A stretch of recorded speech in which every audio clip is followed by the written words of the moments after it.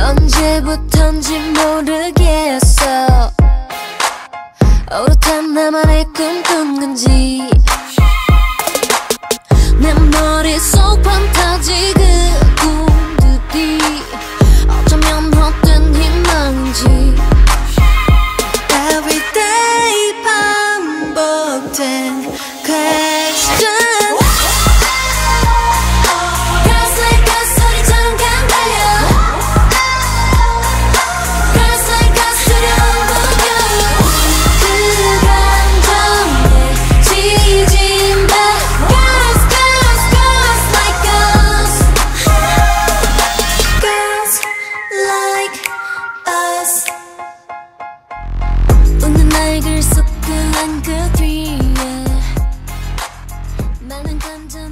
안 뛰겠지.